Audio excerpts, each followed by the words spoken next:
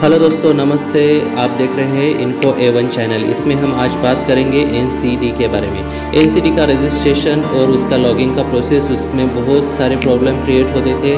बहुत सारे हमारे जो ए के सिस्टर लोग हैं, उनको बहुत सारा प्रॉब्लम होता था लॉगिंग करने में और उसका जो पासवर्ड है वो रिसेट करने में। तो आज हम देखेंगे इसका लॉगिंग प्रोसेस और उसको क्या करना चाहिए। तो सबसे पहले देखो, हमारी ये टैबलेट की स्क्रीन है। आपको जो प्रोवाइड किया हुआ है, वो स्क्रीन टैबलेट तो ये उसका स्क्रीन उस पर ये ओल्ड वर्जन है, उसको हम अनइंस्टॉल करेंगे। तो उस पर पुश करके रखेंगे और अनइंस्टॉल पर क्लिक करेंगे ओके तो वो पुराना वाला जो एप्लीकेशन था, वो अभी अनइंस्टॉल हो गया है। तो इसके बाद हम जाएँगे प्ले स्टोर में। प्ले स्टोर में नया वाला वर्जन है, उसे हम इंस्टॉल करेंगे तो हम जाते हैं प्ले स्टोर में। ठीक है? प्ले स्टोर में जाएँगे। प्ले स्टोर में जाने के बाद वहाँ पर हम लिखेंगे एन सी डी एनसीडी के बाद, लिखने के बाद ये हमारा एप्लीकेशन है नया वाला 2.61 इसका जो वर्जन है 2.61 है। तो उसे हम इंस्टॉल कर लेंगे, देखो ये वाला। ठीक है?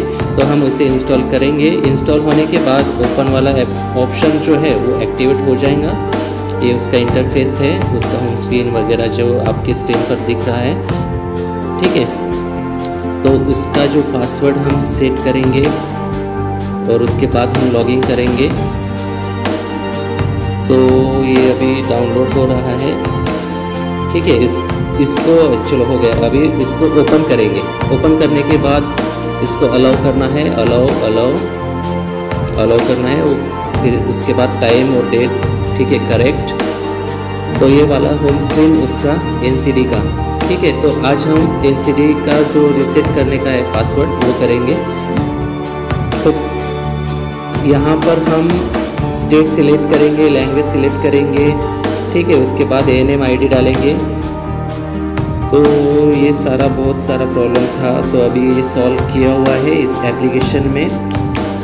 तो हम पासवर्ड रिसेट करेंगे। पासवर्ड डालने के लिए मिनिमम एट कैरेक्टर होना ज़रूरी है।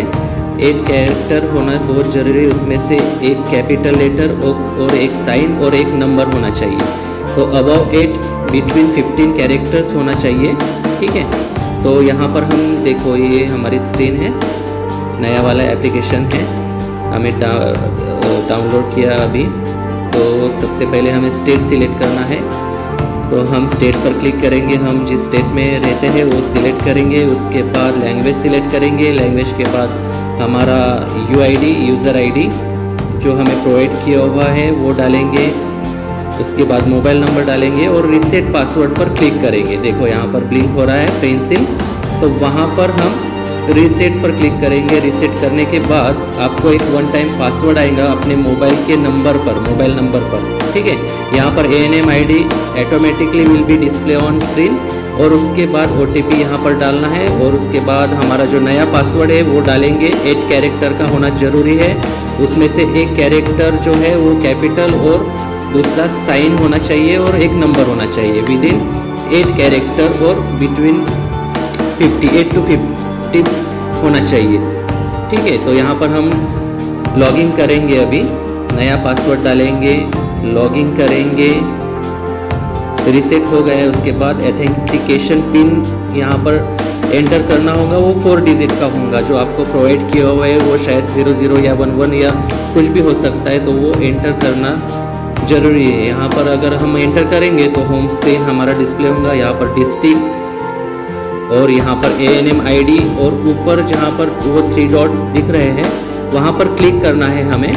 तो उसके बाद वहाँ पर क्लिक करने के बाद हमारा जो प्रोफ़ाइल है डैशबोर्ड है, वो लिस्ट में से हम सिलेक्ट करके वहाँ पर देख सकते हैं। हमारा ये प्रोफ़ाइल है, वहाँ पर हमारा नाम आईडी यूज़र आईडी वो सब यहाँ पर डिस्प्ले होगा। उसके बाद यहाँ पर थ्री डॉट है, वहाँ पर क्लिक करेंगे तो डैशबोर्ड ओपन होगा, ठीक है? लिस्ट में से हम डैशबोर्ड सिलेक्ट करेंगे और ये डैशबोर्ड हमारा टारगेट क्या है इनरोल कितने हुए हैं? तो ये सारी जानकारी यहाँ पर डिस्प्ले होंगी, ठीक है? तो ये है, ये ऐसा प्रोसेस है, नए नए एप्लीकेशन का, अगर आप इस चैनल पर नए हैं तो सब्सक्राइब करना नहीं भूलना, ठीक है? सब्सक्राइब ज़रूर करना और एक लाइक तो बनता है, एक लाइक करके सब्सक्राइब करना ज़रूरी ओके